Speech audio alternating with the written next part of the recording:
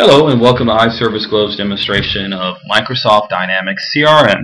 This scenario I will show you how a sales rep can easily import a file or even a marketing manager can import a file in uh, Dynamics CRM. As you see I will go to my sales tab, click on import files, hit browse to locate the CSV file that I want to import and I've located the file that I want simply hit next and the file has been imported into CRM this is the mapping stage where I would want to map the fields correctly from my CSV file.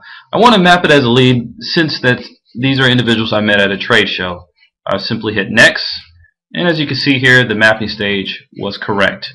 Uh, everything seems to match up. Want to hit next. From there I would import the list.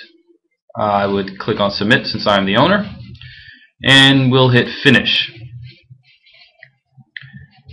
As you can see here Microsoft's functionality is easy. What I want to do is refresh this particular list and let it show up.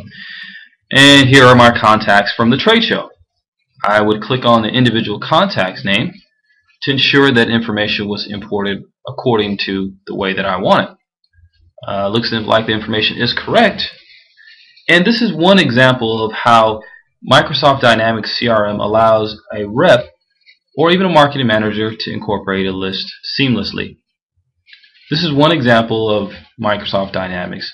Look for more videos from iService Globe and of course visit our website at iserviceglobe.com and thank you again for visiting our site.